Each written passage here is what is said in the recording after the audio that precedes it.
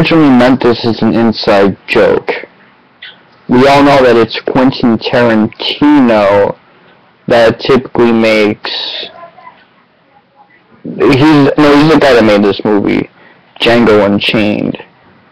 It's his thing, and we all know Tarantino's basically likes the throwback 1970s exploitation style. He likes the revenge porn. He likes the social justice stuff and the jewiness of it all. But the joke I always made was that it's Tyler Perry's Django Unchained. And now I think to myself, if Tyler Perry were to get jurisdiction and actually direct this kind of movie, remake it into his own style and aesthetic, how would it be? And I realize it's not going to be necessarily that different. Because while he isn't necessarily into the same kind of interracial revenge porn that is Django Unchained, it's payback against the massa. And this is a different story. First off, the main protagonist, Django, in the beginning of the film, is an African slave that got separated from his wife, Broomhilda,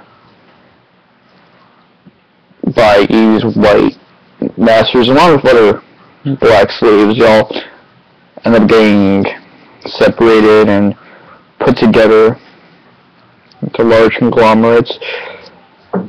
This is simple because the conflict that Tyler Perry likes to draw out is a much deeper conflict at the moment in contemporary black culture. It's the interracial fight between light-skinned niggas and dark-skinned niggas.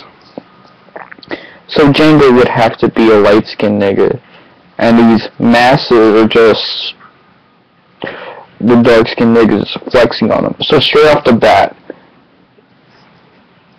the antagonists that are white are automatically going to be reverted to thug, dark skinned niggas that are abusing him, that are disrespecting light skinned guys. The soft, sensitive, bit on sheer, bishonen kind of guys. Meaning these people that transcend males that transcend masculine beauty into this effeminate kind of appearance.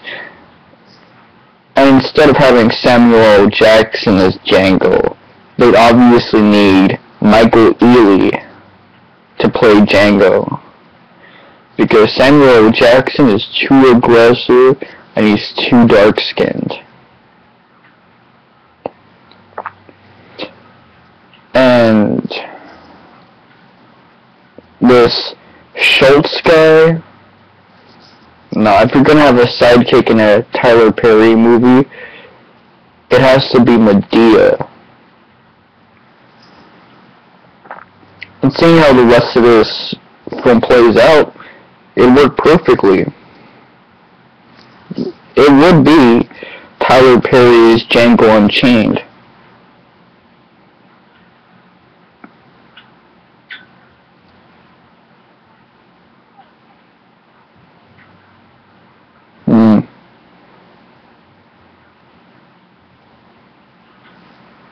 Okay, but they'd have to all convert to.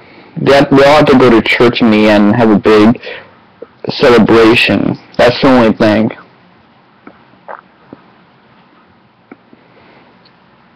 Anyway, that'd be the film in its entirety. And I still wouldn't watch it. Because instead of being a Tarantino film, which is bad, it'd be a Tyler Perry film, which is almost as bad, if not worse.